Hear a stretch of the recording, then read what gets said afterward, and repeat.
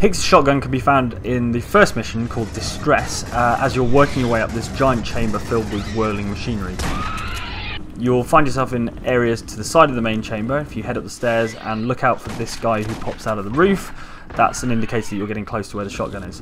Head up the stairs uh, and you'll find a room to the side of the main chamber. You can see the machinery and there are two doors opposite. Uh, you're supposed to go in this direction, but if you take a quick detour and head into this room here, you will find the shotgun and a medikit as well, which should come in very handy for all the aliens you have to fight in the rest of the mission.